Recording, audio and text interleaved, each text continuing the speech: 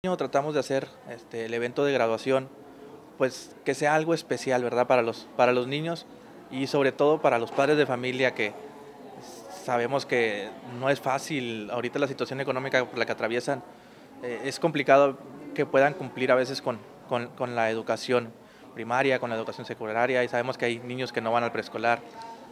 Y al concluir estos, estos seis años este, en nuestra escuela, pues tratamos de hacer las cosas bonitas, ¿verdad? Que el papá se sienta contento, que los padres de familia, que las, que las mamis y los papis de la, de la escuela se sientan agradecidos, eh, que sientan que les damos ese trato de, de, vuelta hacia ellos, ¿verdad? Como, como agradecimiento por todo el apoyo que nos brindan en la escuela.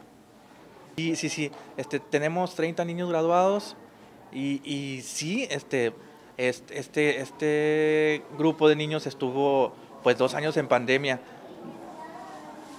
gracias a Dios, ahorita ya, ya nos dieron permiso de hacer este tipo de eventos porque, como ustedes bien saben, hubo, hubo años en los que se cancelaron.